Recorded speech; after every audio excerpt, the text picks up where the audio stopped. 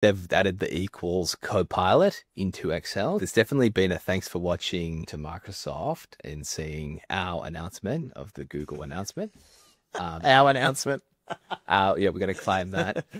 They've added the equals copilot into Excel. So for all of those who are heavy Excel users, we want to hear in the comments if you're using this, if it is any good, if it's landed. Last week, I've used the equals AI inside of Google Sheets, which did a really good job. I was very impressed with it.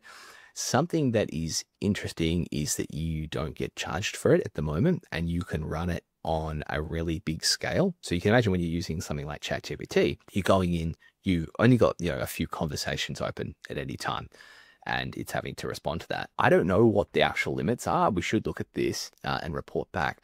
But you can likely put a thousand rows in, and then you can put the prompt in into each of those thousand cells, and then you can run it uh, at the same time. And so it kicks off a process to do this in the background. And I don't know what the limits are, but you've got to suspect there must be some pretty heavy limits on this because otherwise people could abuse the shit out of it. Like, you know, you could just have a million rows and get it to do something for you.